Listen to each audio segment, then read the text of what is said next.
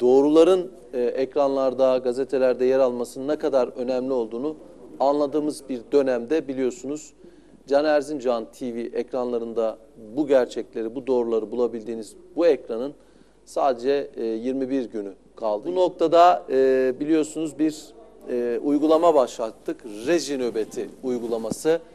E, önce Ünal Tanık'la daha sonra Sait Sefa'yla başlayan e, bu süreç dün Turgay Oğur'la, gazeteci Turgay Oğur'la devam etmişti. Bugün de e, sevgili Nazlı Ilıcak e, bu reji nöbetini devralıyor. Nazlı Hanım hoş geldiniz. Hoş bulduk Erkan. İyi yayınlar. Çok Geliyorum. teşekkürler. Burada şimdi şu duvar yazıları yalnız ben bir hemen es geçmeyeyim. Çünkü bunlar çok önemli. Her tarafta duvar yazıları. Ee, burada benim yazım var.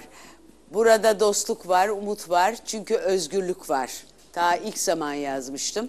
Şimdi artık e, yerime geldim. Biliyorsun Can Erzincan TV 20 Temmuz'da e, maalesef uydudan indirilecek. Tabii bu arada çok acı olaylar da cereyan etti dün gece. Başımız sağ olsun. Çünkü hadise çok üzücü ve ama yeni değil. Bu yıl gerçekten 7-8 bilmiyorum artık rakamı ama kaç e, intihar saldırısı yaşandı bu ülkede. Birinci dünya problemlerinden bir anda üçüncü dünya gerçeğiyle karşılaşmak gibi oldu. Orta Doğu gerçeğiyle karşılaşmak gibi oldu. Can Erzincan'ın durumu ise tabii ki artık söylenecek laf yok. Yani Türkiye'deki dehşet e, hızlı diktatörlük, otoriterlik sürecinde e, her gün yeni bir yeni bir adım, yeni bir hamle, bir damla daha var. Zaten Can Erzincan'ın varoluş nedeni e, benzer saldırılar, medyaya yönelik saldırılar olduğu için e, bu çok acı, geçmiş olsun. E, bugünler geçecek diyorum. bu dönemde icat edilen basına baskı metotları hiç e, benim hayatımda görülmedi. Burada e, bir yayın e, şey oluyor, işte karartılmak isteniyor e, klasik sözüyle. E, gerekçe ne? Gerekçe işte bazı kurallara uymamak. Halbuki o kurallara uymadığını tespit eden şey de yok ortada. E, vesika da yok. Ve e, bu anayasaya da aykırı, mevcut yasalara da aykırı. Bütün bunlar bir araya geldiği zaman Türkiye'nin demokrasiden tehlikeli bir şekilde uzaklaştığını görüyoruz. Bu gidişe karşı dur demek için herkes elinden geleni yapmalı. Basın mensupları tabii başta olmak üzere toplumun başka e, kuruluşlarındaki, kurumlarındaki, sivil toplum örgütlerindeki insanlar da bu e, dayanışmayı e, kendi aralarında tesis etmeli. Yani basın özgürlüğü sadece yorum, e, farklı yorumların, farklı seslerinin çıkmasının engellenmesi yönünde e, baskı altında değil, aynı zamanda haber alma açısından çok ciddi bir baskı altında. Tam da böyle zamanlarda zaten basın özgürlüğünün ne kadar önemli olduğunu biz bir kere daha anlıyoruz.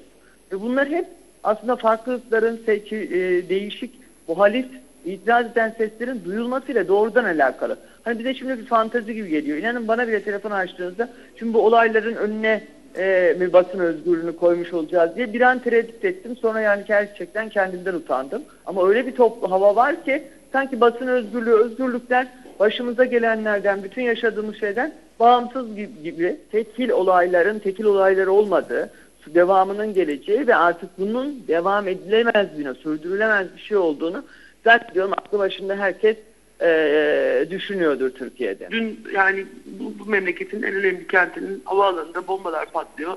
Yayın yasağı getiriyorlar. İnsanlar yakınlarıyla haberleşemiyorlar. Ben dün akşam çıldırdım. Haber alamıyorum. Yani sosyal medya olmasa haber alamayacağım. Ya da e, alternatif televizyonlar olmasa ne olup bittiğini doğru düzgün anlayamayacağım. Niye 5 sene önce olmuyordu?